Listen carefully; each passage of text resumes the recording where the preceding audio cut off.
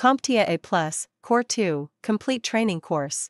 Exam Objective 1.2 Given a scenario, use the appropriate Microsoft command line tool.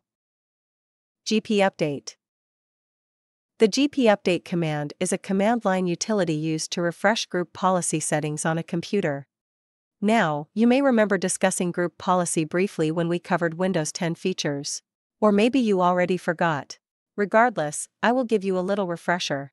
In simple terms, group policies are a way for network administrators to control the working environment of user accounts and computer accounts.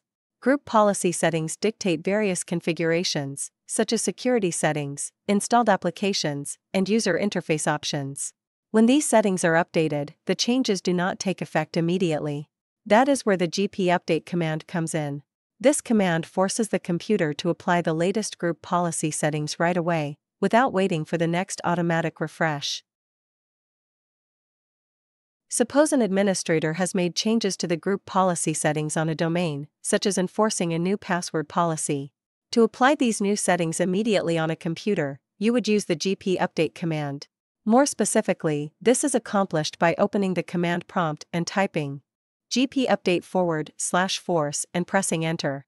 This command tells the computer to immediately refresh and apply all the group policy settings, ensuring that any changes made by the administrator are enforced right away.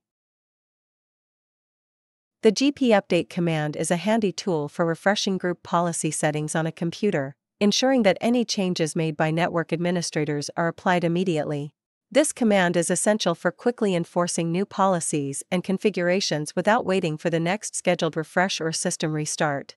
By using GP Update, you can ensure that all group policy changes take effect right away, maintaining a secure and well configured computing environment.